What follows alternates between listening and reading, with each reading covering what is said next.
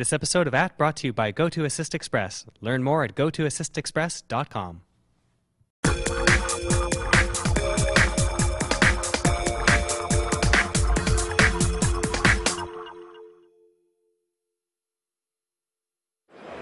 Every year at CES, we check in with our friends at D-Link. Of course, they're famous for wireless routers, but they're expanding their line, as always, over the last few years. And I'm here with Dan, who's got a couple of interesting products you guys are talking about this year.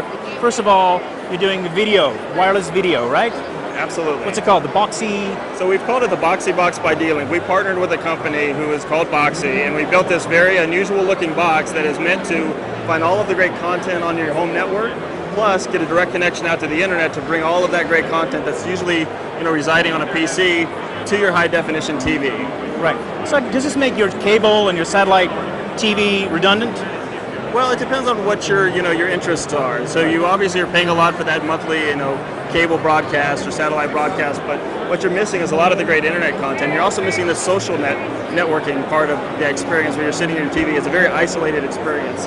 With the Boxee Box, you're not only finding that local content, you're finding internet content, plus you're sharing via your Facebook account, your Twitter account, and you're also recommending content to your friends and family. And you're getting all that to your high definition TV in your living room too. Yes. Right, very good. So you guys are doing that, and obviously that's a big enhancement to the home.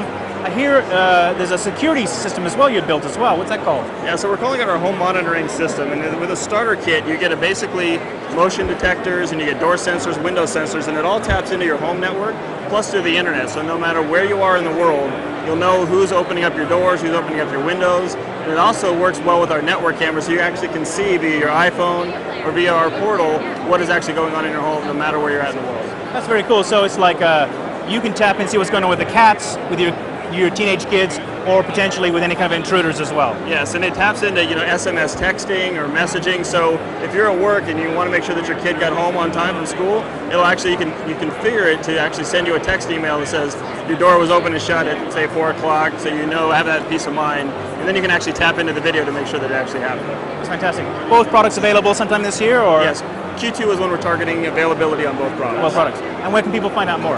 Go to dlink.com slash CES. There you go. New innovations from D-Link here at CES.